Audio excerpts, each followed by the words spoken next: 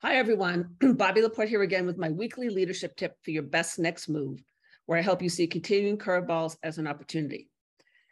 So I'm in Lake Tahoe for a bit, and my internet has been very unpredictable over the last couple of days. So instead of uh, you having to watch a really terrible video, apologies, I decided this week's tip will just be audio. So it seems like every week I hear about yet another organizational change at one of my clients' companies. More often than not, that means that when this occurs for you, that you might find yourself with new team members, people you've inherited from other teams, and possibly new team members that you're hiring and adding to your team. Now, all these changes can be very time consuming and distracting for leaders who are feeling the pressure to execute and deliver results.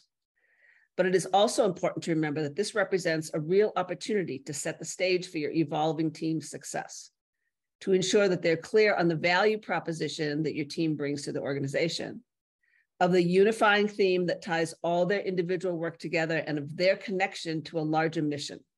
That's something we all crave as human beings.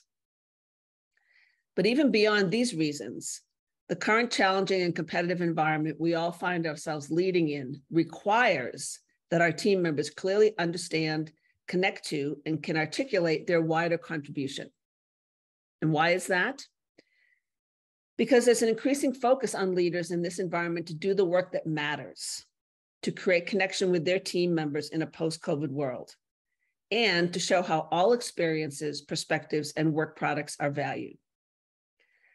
So here's my tip you don't have to create this value proposition from scratch. Start with the mission statement for your company.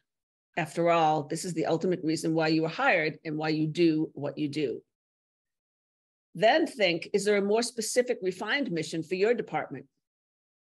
Maybe ask yourself the question how do you speak to someone you're hiring about the opportunity they have to join your team and make an impact?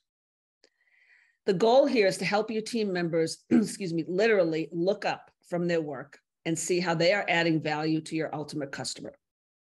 So, for example, if your co- company makes software that helps people create new products for their customers, think of the extended impact you, excuse me, and your team are producing. Now, of course, this is going to vary from company to company, but you need to make it clear in a way that everyone on your team, excuse me, understands and can articulate their broader value to the company. All right, everyone, that's my tip for the week. I hope that was helpful. Have a great week, and I will see you next Monday. All right, take care.